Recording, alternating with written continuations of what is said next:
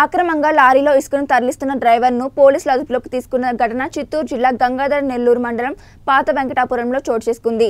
నీవా నది నుంచి తమిళనాడుకు ఇసుకను తరలిస్తున్న లారీను పోలీసులు అడ్డుకుని పట్టుకున్నారు.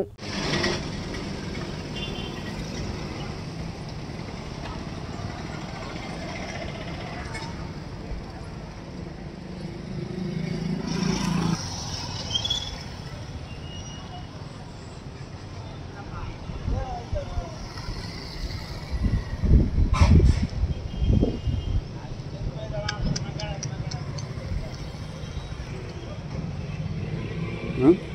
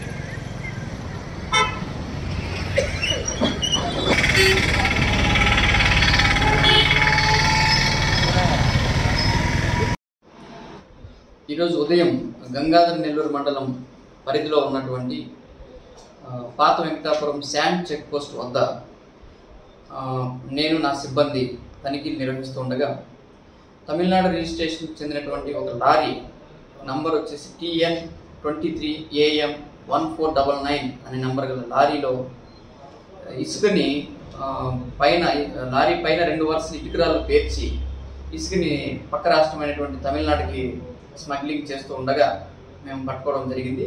ఆ లారీలో ఉన్నటువంటి డ్రైవర్ త్యాగరాజన్ మా జీడినెల్లూరు మండలానికి సంబంధించినటువంటి వ్యక్తి.